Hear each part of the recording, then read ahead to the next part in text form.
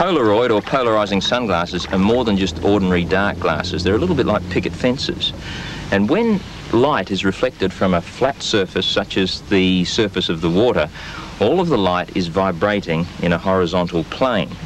So if you have your sunglasses on sideways, I don't know why you'd want to do that, but if you did, it's a bit like having your picket fence on the side.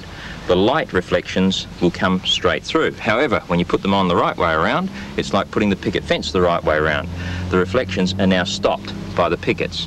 And that's the sort of thing that happens when you wear sunglasses that are polarizing filters in a situation like this where you're hunting for sunken treasure or shipwrecks. Why don't you try my sunglasses and see if you can see the effect. Keep your eye on this area of the water. You've got them on the wrong way around. Turn them around slowly and see if you can see anything under the water in this region here. Aha! Uh -huh. How about that? We've discovered bits and pieces of a shipwreck. Over here, we seem to have a pipe, an old iron pipe encrusted with coral and shellfish and all sorts of other things. Here, there's something also lighter in colour, very, very heavy, Yes, it's a piece of lead, lead ballast from a ship. And in the centre, among all the other bits and pieces, I can see a lump of coral that looks a little different from your normal lump of coral because attached to the other side it has a teapot. So I think we've discovered a shipwreck. But the problem is only partly solved. What we have to do now is to work out how old these bits and pieces are and what ship they came from. You don't often find the name of a shipwreck. It's seldom as easy as that. But if you're lucky, you may find the name of the company that ran her. This is the badge of the Adelaide Steamship Company, and it shows that these plates are from the wreck of the Yongala, which went down with all hands.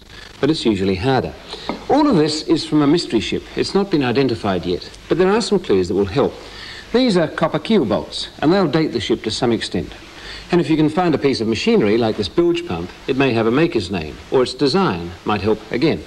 In fact, this ship had French fittings, and so it's possibly a French ship, although it carried English ballast in the form of lead ingots. So, English ship with French fittings or French ship with English ballast, we don't know, and the search goes on.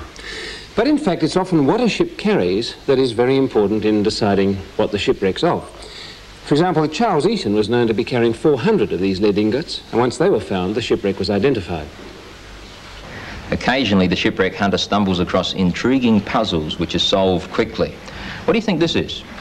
It's made of metal, no markings on the outside, and it has a strong screw-top lid. It's a biscuit tin, and although it's spent 80 years under the water as part of a shipwreck, it's still airtight, and the biscuits are quite fresh. Fairly fresh. That was part of a survival kit from a lifeboat which sank off the coast of Queensland. And here's another part of a survival kit of a lifeboat. This is a can of oil. And the oil was used, believe it or not, to pour into the water to calm the waves down as the survivors clambered aboard. That's how we got the saying, pouring oil on troubled waters.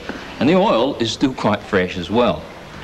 So, being a shipwreck hunter searching for shipwrecks and explaining them is very much like detective work, looking for clues, filling in gaps, solving problems. It's a fascinating occupation.